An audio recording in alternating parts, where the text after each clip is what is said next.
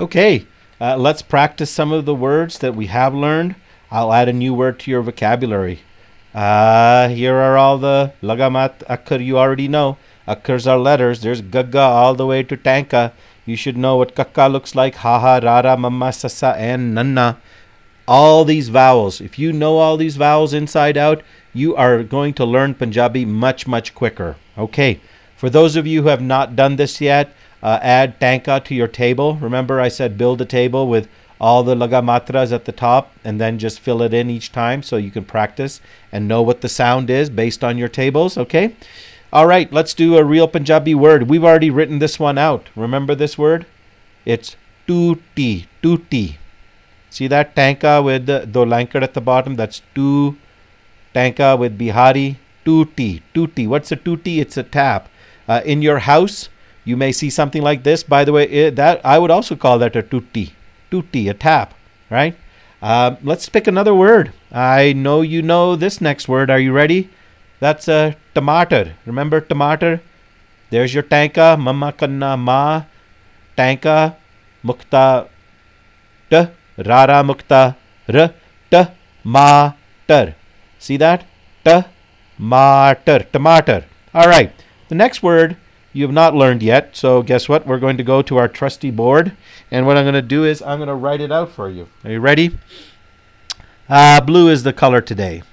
I'm going to use Tanka.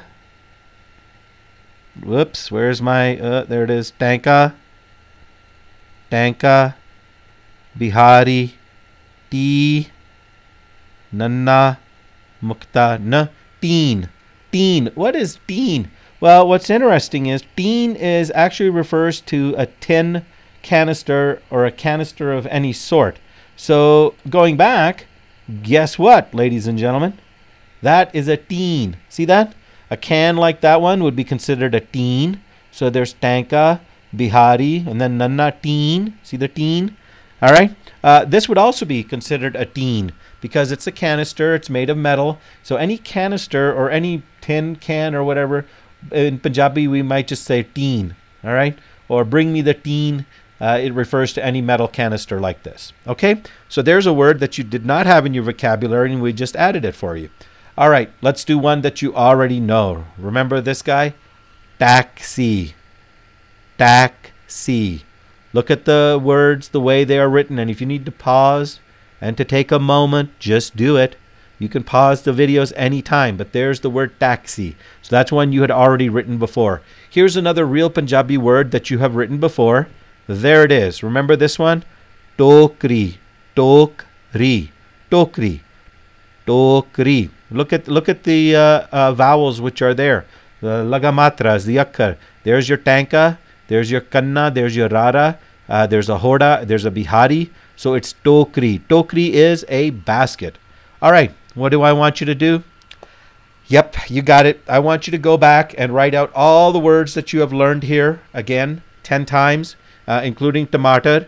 And guess what? I will see you on the next lesson. Uh, don't forget to do taxi. Don't forget to do some of the other words, in, including teen, since these are all words that you have learned. Have an awesome day.